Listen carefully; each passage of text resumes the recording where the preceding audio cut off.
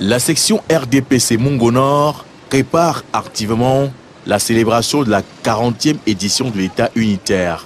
Le président de la section LH Oumaro et ses camarades des différentes sous-sections entendent mobiliser le maximum de militants et de sympathisants pour donner un éclat tout particulier au défilé du 20 mai.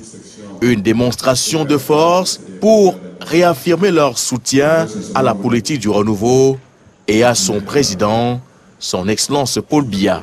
L'essentiel, c'est simplement euh, une plus grande mobilisation. Mobilisation parce que nous en avons nous avons l'habitude. Mobilisation parce qu'il faut démontrer, n'est-ce pas, que le RDPC est là, est bien sur place. Mobilisation parce que nous avons plus que jamais besoin d'une symbiose, d'une cohésion dans notre section, parce qu'il faut absolument démontrer que le RDPC est en pleine forme, prêt à battre tous les records.